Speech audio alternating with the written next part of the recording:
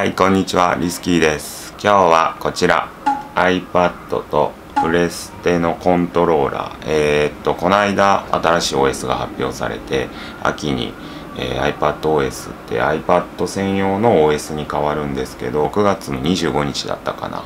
にえーと、パブリックベータ版が出て、えーと、一般の人でも iPad をに新しい、まあ、OS を入れてテストで使えますよっていうところでただこれ入れると,、えー、っとバグとかあって普段使いしてる iPad に入れちゃうと使いづらいっていうところがあるんですけど、まあ、僕ちょっと試したいろいろ試したかったので入れてみました。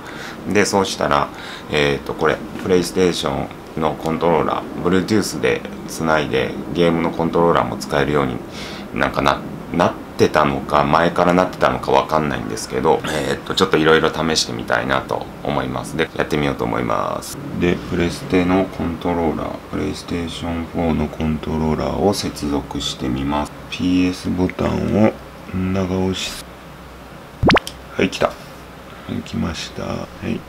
で実際動くかどうかを試しにちょっと iPad でやってみようということです。文字入力はここで。ああ、iPad、これめっちゃいいやん。キーボードでできる。リスキー。お、これは。任せろ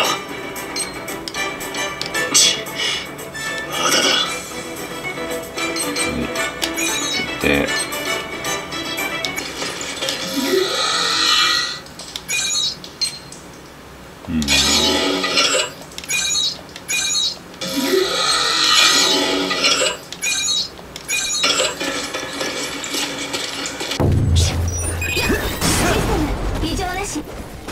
海域濃度順応範囲内。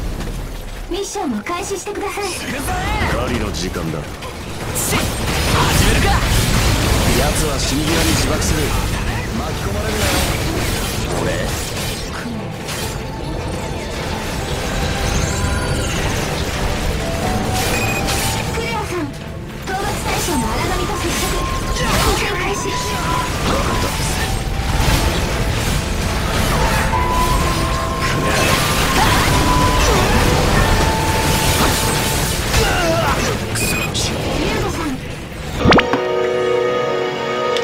どうだったかいうん。一回ここした入るネイルが入ってない。のかパパがあれ？両方動いて2人で動いてないこれ。はい。というわけで iPadOS では PlayStation4 のコントローラーが使えました。秋にスタートする Apple アーケードに備えた準備じゃないのかなと思います。じゃあまたね。